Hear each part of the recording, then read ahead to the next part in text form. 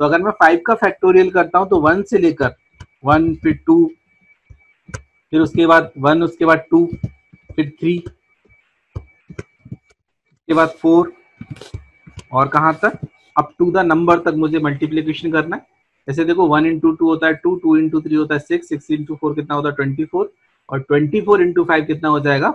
One twenty तो final answer कितना आना चाहिए यहाँ पर? वन ट्वेंटी जैसे एक और एग्ज़ाम्पल अगर मैं फोर का फैक्टोरियल कैलकुलेट करता हूँ तो मुझे वन से लेकर मल्टीप्लाई करना चाहिए। One into two into three into कितना? फोर तो देखो वन इंटू टू होता है two two into three six six into four कितना? ट्वेंटी फोर तो इसका जो आंसर आएगा, कितना आएगा? ट्वेंटी फोर जैसे अगर तुम्हें नाइन का अगर फैक्टोरियल कैलकुलेट करना है तो वन से मल्टीप्लीकेशन करना चाहिए अप टू द नंबर तक। किसी भी नंबर का अगर फैक्टोरियल कैलकुलेट कर सकते हैं तो वन से लेकर उस नंबर तक मुझे क्या करना है? मल्टीप्लाई करना चाहिए। तो सबसे पहले मैंने यहाँ पे क्लास नेम लिखा हुआ है।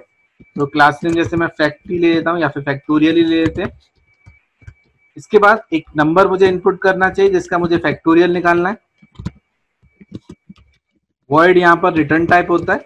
बहुत ही इंपॉर्टेंट टॉपिक था ये वर्ड क्या होता है? तो word is a return type integer type का एक वेरिएबल्स मैंने यहाँ पर एन इनपुट कर दिया यानी कि मुझे एन का फैक्टोरियल क्या करना है यहाँ पर? कैलकुलेट करना है। एक वेरिएबल इंटीजर टाइप का वेरिएबल्स फैक्ट इक्वल टू कितना वन क्योंकि मुझे मल्टीप्लीकेशन स्टोर कर मल्टी मल्टीप्लीकेशन को स्टोर करना है। इसलिए मैंने उसकी इनिशियल वैल्यू को कितना लिया हुआ है? वन लिया हुआ है। फॉर लूप स्टार्ट करेंगे। देखो कहाँ से मल्टीप्लीकेशन स्टार्ट करते हैं? वन से लेकर।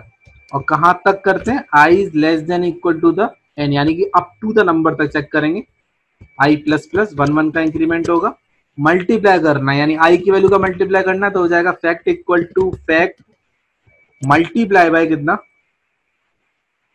आई और फॉर लूप यहाँ पे क्लोज हो जाएगा, और यहाँ लास्ट में मैं फैक्टोरियल को क्या कर दूँगा?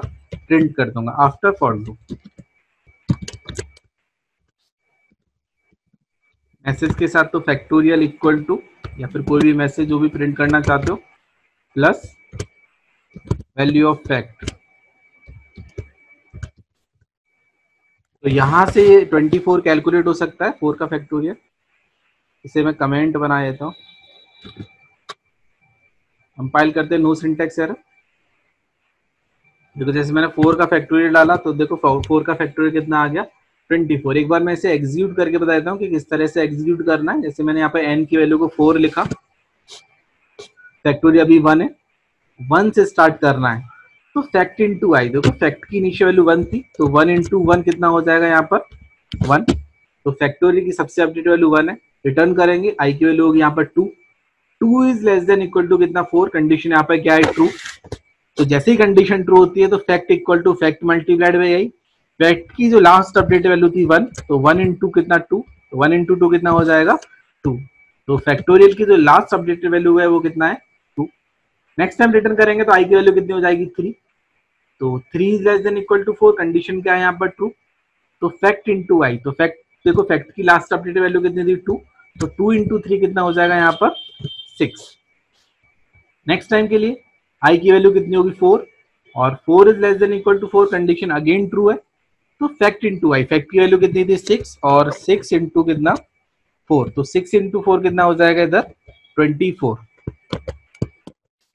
तो सिक्स इंटू फोर इधर कितना हो जाएगा? ट्वेंटी फोर नेक्स्ट टाइम के लिए जब आई की वैल्यू फाइव होगी तो five is less than equal to four यहाँ पर कंडीशन क्या हो जाएगी? फॉल्स तो जैसे ही कंडीशन फॉल्स होती है तो हम फॉर लूप की बॉडी के बाहर आएँगे, यानी कि इस बॉडी के बाहर आएँगे, और कितना प्रिंट हो जाएगा? 24